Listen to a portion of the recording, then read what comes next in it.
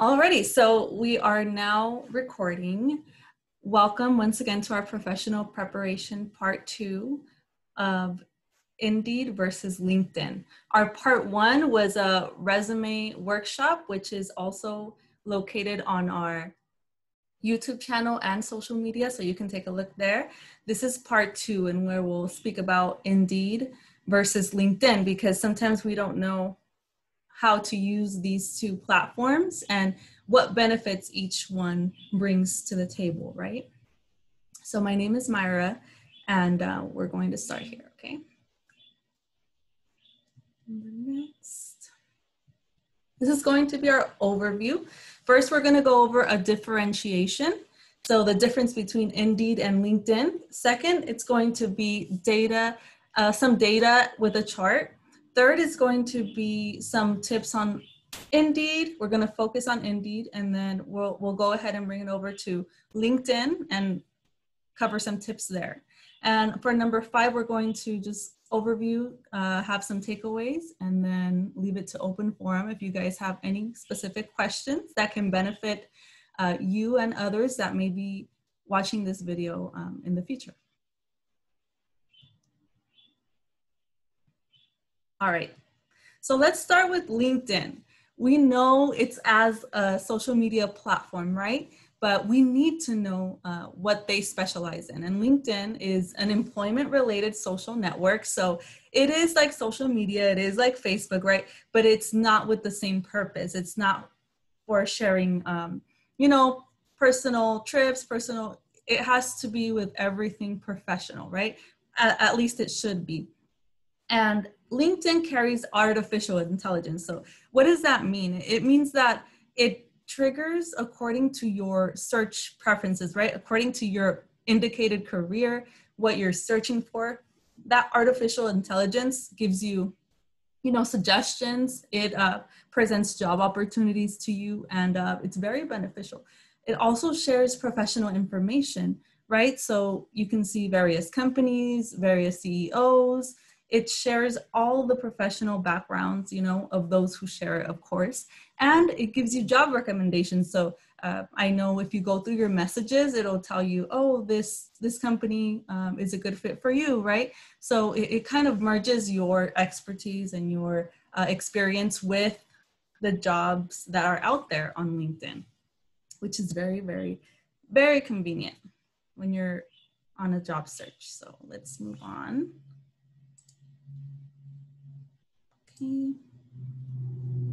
So with Indeed, Indeed is a search engine. Just think of like the Google of job searches, right? Indeed is more of a meta search engine for job listings. So you can, any job listing that you can think of, it's there. And uh, a lot, lots of people uh, do use Indeed and prefer Indeed over LinkedIn, which we'll cover in the next slide.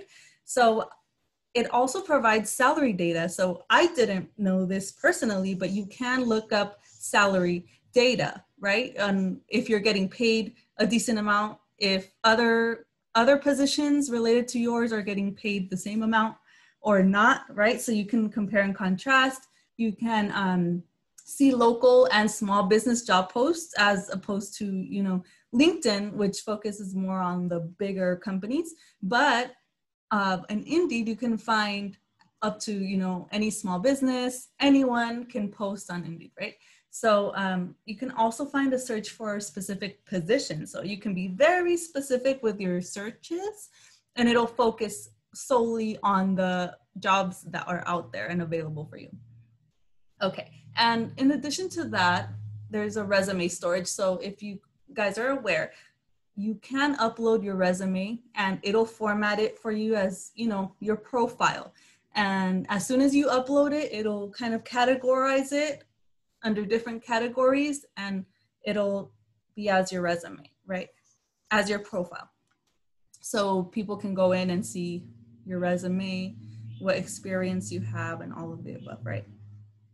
So here's a little uh, visual of what these platforms are like because there's a lot of platforms that can help you look for jobs or or assist you in you know career building but Indeed seems to be where Indeed seems to be the most preferable, in other words.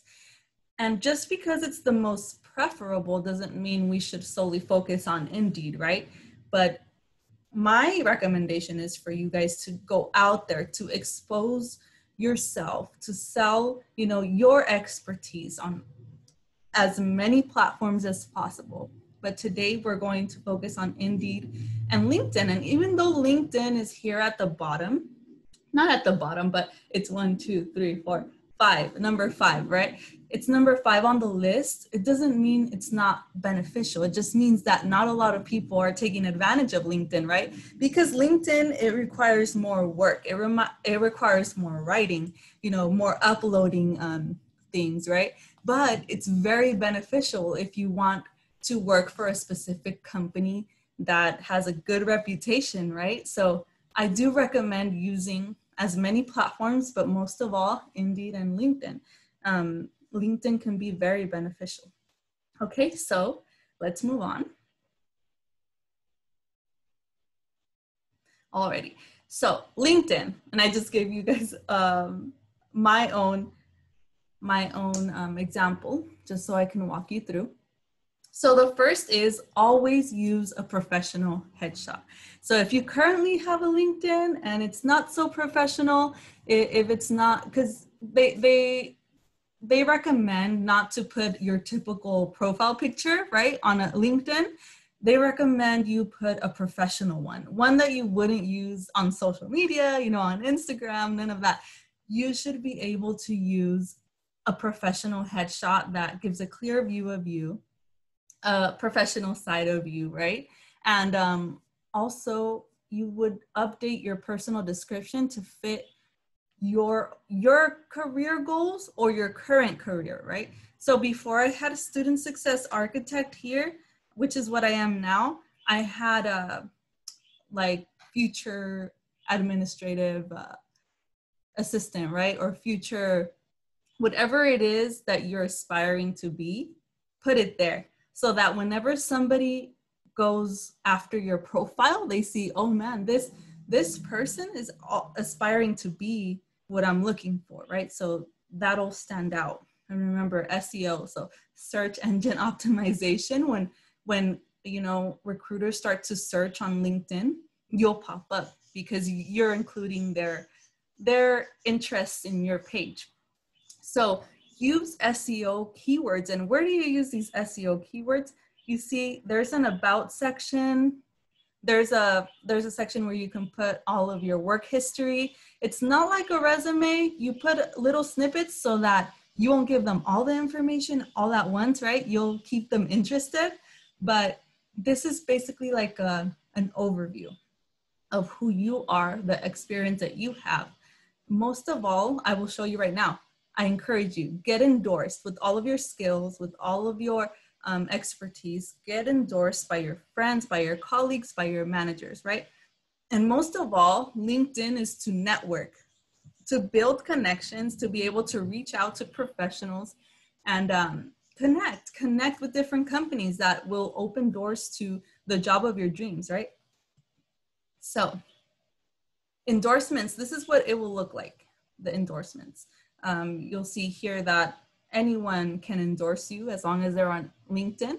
And it's kind of like a backup to say, yeah, this person is an expert in this. This person does have, you know, a skill set in this and this area, right? It'll back you up and it'll make you more credible because not only are you just listing your skill set, but you have people backing up what you're saying, which will make it more credible, more, you know, more, more trusting.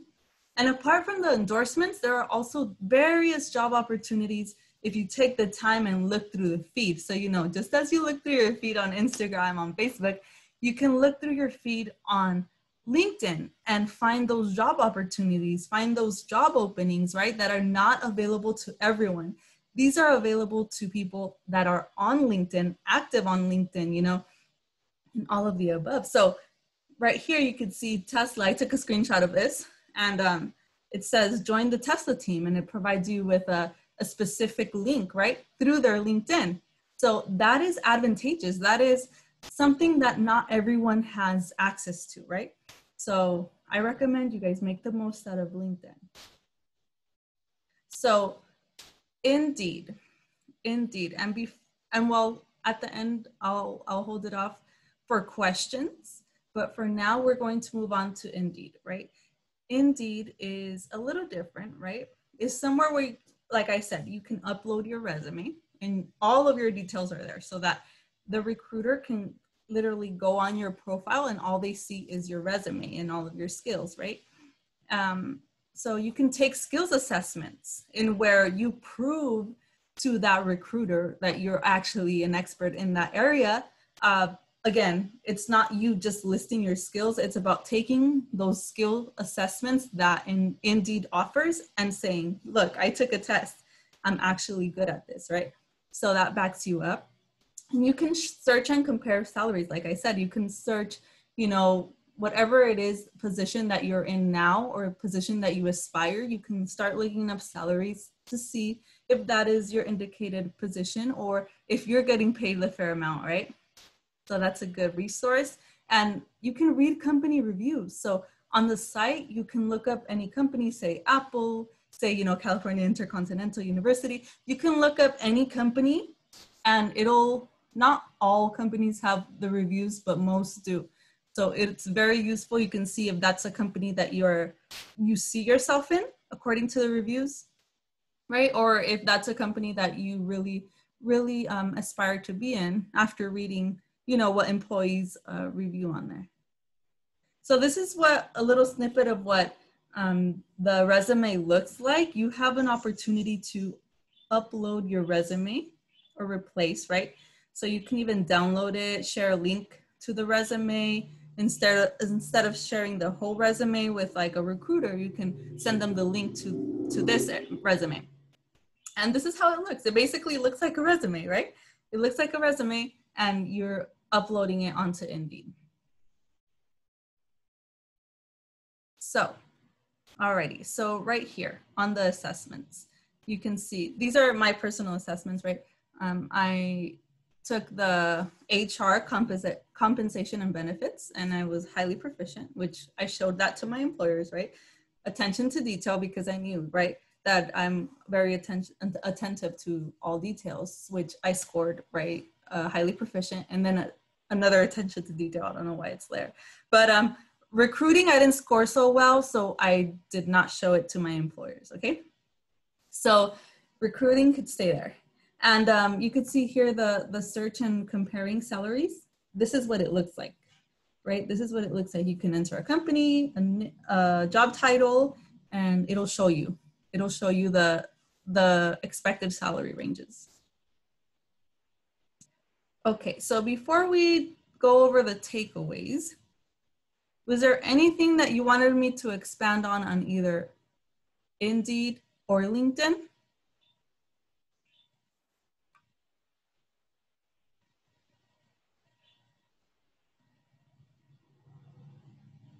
Anyone?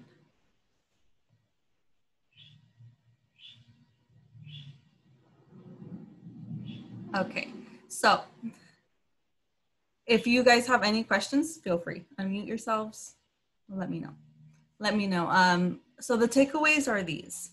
Indeed is a meta search engine. Remember, I want you guys to utilize each platform according to the individual benefits that each offer, right? We, we don't want to use Indeed as LinkedIn or LinkedIn as Indeed. We want to use each, use the maximum benefits out of each platform.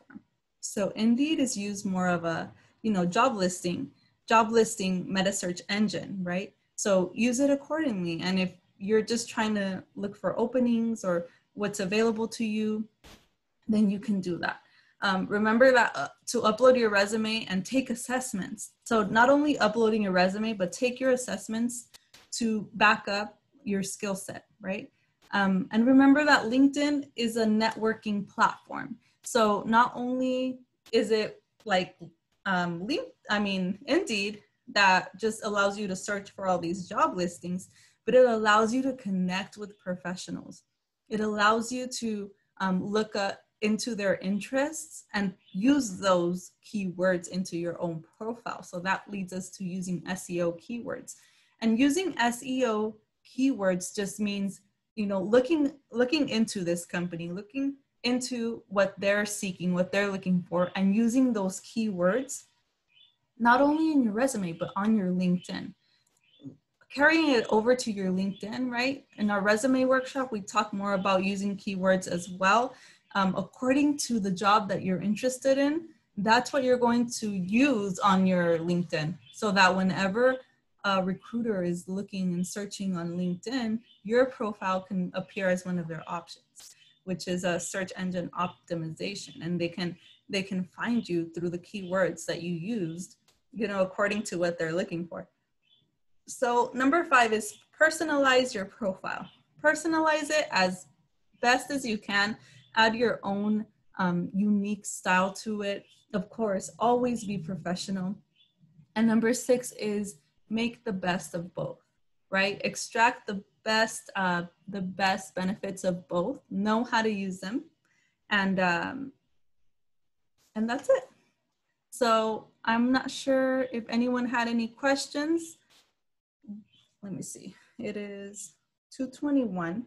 So we do have nine minutes and um, I can answer any questions or I can, you know, guide you guys, take you on like a little walkthrough of either Indeed or. I have a, I have a question. Mm-hmm. Okay, good, good, good. Um, is it possible to to to uh, integrate this indeed with an HR HR human resources solution? Is it possible? Indeed, as in when as when you're listing a job or when you're looking for a job. Uh, when uh, when for recruiters for for for for an HR managers HR manager? Is it possible? Because uh, I'm just looking at a way where uh, I have a solution, I have HR solution in house. So, and I want to recruit. I want to recruit. Uh, uh, I want to recruit for a particular solution. I mean, position.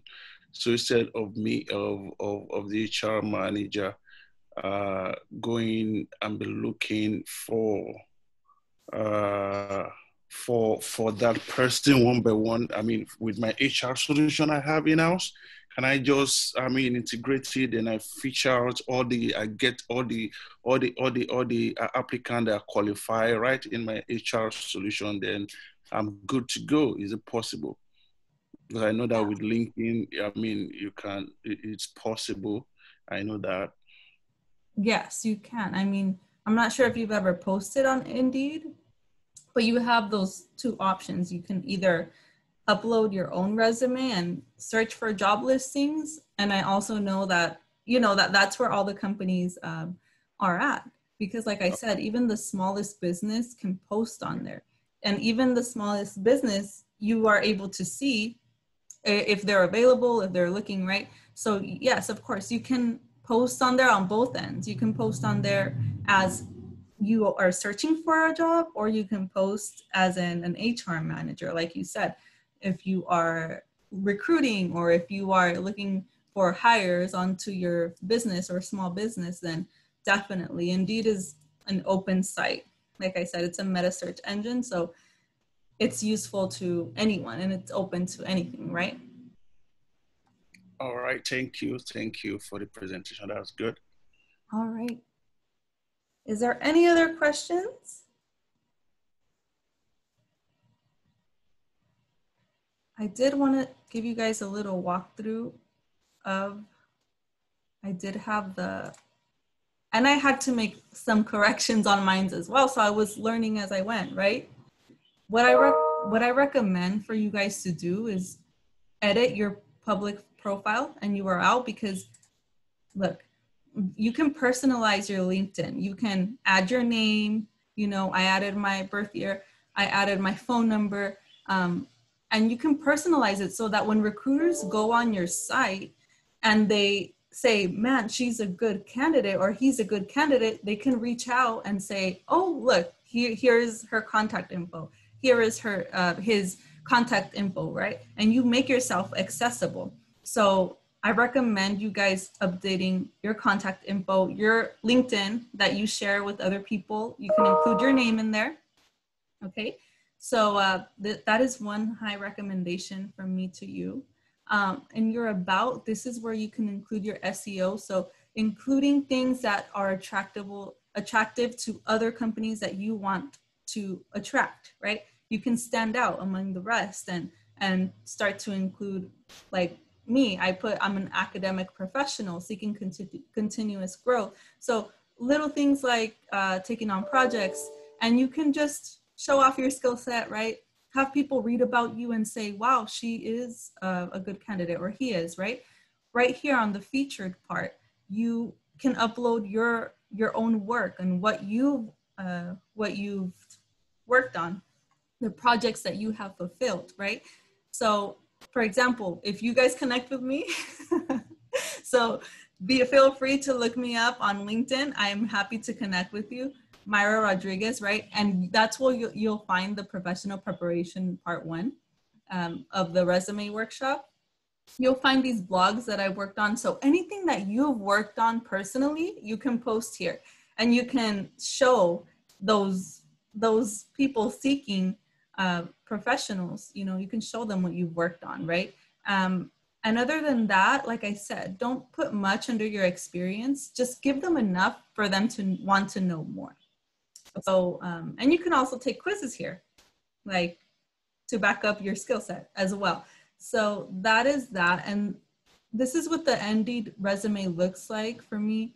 Um, you can add so many skills on here. I think i went a little over but you can never do too much. And you can include your LinkedIn here so you can merge and have them hop from your Indeed to your LinkedIn, which is very advantageous as well. And you see, you can see all the assessments I've taken. And then I just wanted to show you a little uh, bit of the messages that you get. Like it recommends an opening. You can decline or you can accept and you have people constantly sending you messages according to uh, your job titles to your resume, right? It recommends you all of these things. So uh, just wanted to walk you through before, I mean, before that, I mean, I know that's pretty much it on my side, but I want to make sure you guys clear clear all of your doubts, all of your questions before we end.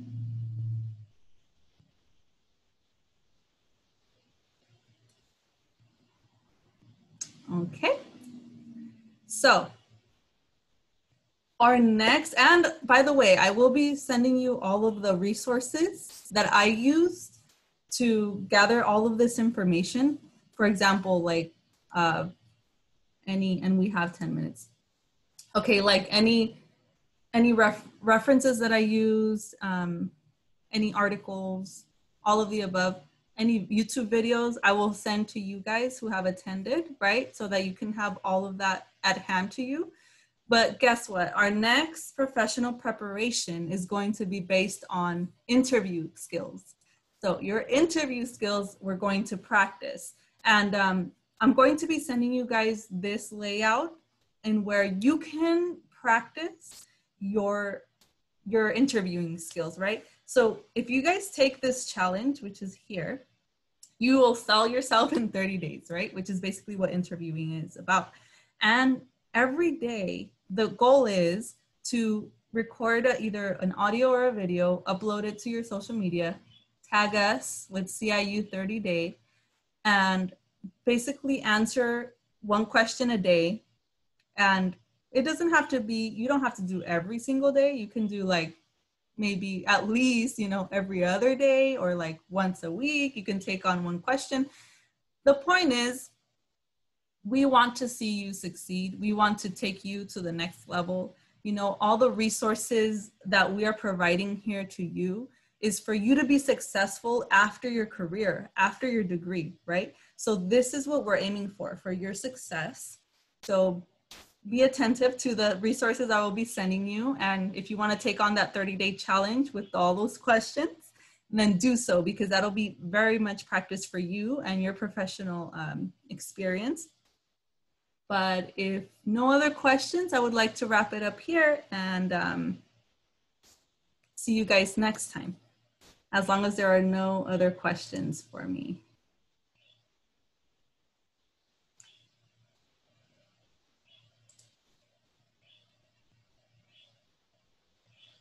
Alrighty, so Judy, Kemi, it was nice to have you here with us. Thank you for joining us. And we hope to see you guys uh, next time for the following resume workshop. Yep. All right.